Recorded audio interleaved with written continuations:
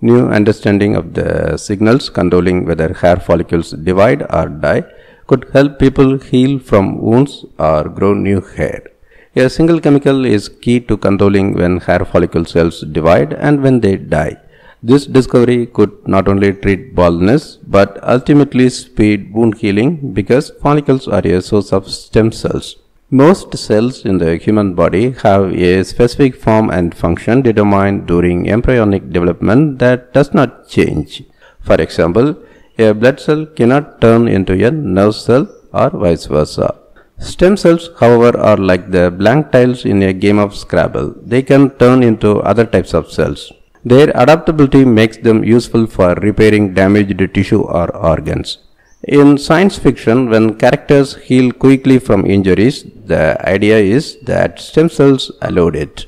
The researcher says that in real life, their new research gets them closer to understanding stem cell behavior so that they can control it and promote wound healing. This research is detailed in a recent biophysical journal article. The liver and stomach regenerate themselves in response to wounds. However, the research team studied hair follicles because they are the only organ in humans that regenerates automatically and periodically even without injury.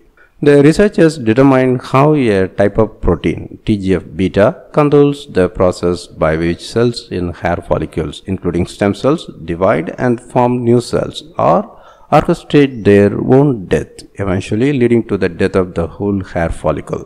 The researcher explains that TGF-beta has two opposite roles. It helps activate some hair follicle cells to produce new life and uh, later it helps orchestrate apoptosis, the process of cell death. As with many chemicals, it is the amount that makes the difference. If the cell produces a certain quantity of TGF-beta, it activates cell division. Too much of it causes apoptosis. No one is entirely sure why follicles kill themselves. Some hypotheses suggest it is an inherited trait from animals shedding fur to survive hot summer temperatures or trying to camouflage. Even when a hair follicle kills itself, it never kills its stem cell reservoir.